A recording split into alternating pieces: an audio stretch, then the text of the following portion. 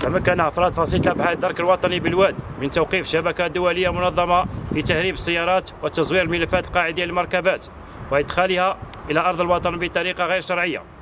العملية النوعية شملت التحقيق حول 46 ملف قاعدي مزور ل 46 مركبة من مختلف الأصناف باسم شركة وهمية. التحقيقات أسفرت عن تحديد تواطئ تسع موظفين يعملون على مستوى مكاتب حركة المرور لأربع بلديات تابعة لولاية الواد وخبير مناجم سابق. بالإضافة إلى عامل بمؤسسة خاصة معتمدة تنشط في مجال مطابقة السيارات. كما تم حجز 17 سيارة من بينها سيارة تحمل ترقيم دولي مع توقيف 17 شخص من بينهم امرأتين بالإضافة إلى أربعة في حالة فرار للإشارة عملية استرجاع السيارات المزورة متواصلة وكذا توقيف المتورطين.